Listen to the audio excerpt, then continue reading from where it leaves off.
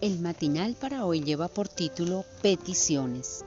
El día que clamé me respondiste, me fortaleciste con vigor en mi alma. Salmo 138, 3. Te suplico que me ayudes a encontrarte. Me alejé de tu lado y ahora no te encuentro. Ayúdame, Señor. Esa fue la petición que elevé en aquel instante. A los seis días de haber realizado esa petición, escribí en mi agenda estas palabras. Gracias, Señor, porque tu espíritu aún contiende conmigo a pesar de mi rebeldía. Te ruego que abras mis ojos ante tu presencia y mis oídos a tu voz. Gracias, oh Dios, porque cuando la noche era más densa, enviaste a alguien para mostrarme el camino. En esa ocasión, la persona a la que Dios envió fue mi esposo. En otras circunstancias, el Señor puede valerse de cualquier otra persona o utilizar cualquier situación, hasta las más insospechadas, para responder a las necesidades de sus hijos que buscan su amparo. En cierta ocasión, una querida hermana expresó así su convicción a la congregación de la que formaba parte. Puede ser que un día Dios mande a un cuervo a traerte lo que necesitas. Aún así, no te asustes por el color del pájaro, pues proviene de él.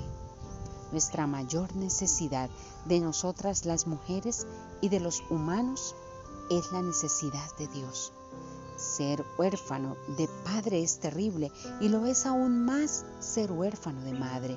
Sin embargo, con todo lo terrible que es cualquier orfandad, la peor es la orfandad de Dios. ¿Cómo puede producirse tal orfandad? Muchas veces ocurre poco a poco, de forma casi imperceptible. Sin darnos cuenta, nos vamos alejando del Señor y llega el momento en que nos percatamos de que nos hemos apartado tanto de Él que ya no sabemos regresar. Nos acertamos a encontrarlo porque al haber caminado tanto trecho lejos de Él, todo lo que nos rodea se ha convertido en absoluta oscuridad.